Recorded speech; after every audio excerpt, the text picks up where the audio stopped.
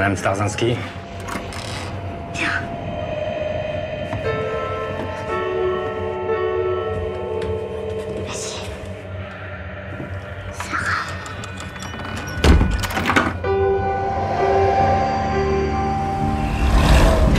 On the 16th and 17th of July 42, they arrested 13,000 Jews.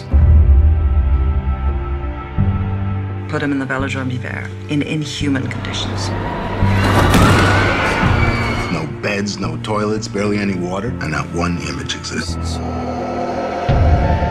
Weird. I mean, they documented everything, the Nazis. That's what they were known for.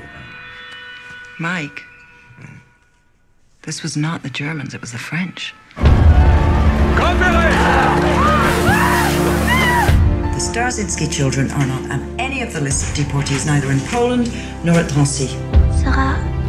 I'm sure they escaped. Jules, you're, you're obsessing. Well, wouldn't you be? These people could still be alive. Do you recognize her? Jacques. Sarah. Sarah Starzynski. If you had been there, how do you know what you would have done? We're all a product of our history. My mother. But I didn't know anything about her.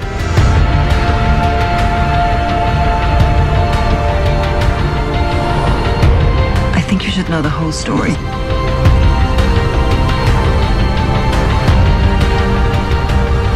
Why are you doing this? Because it's right.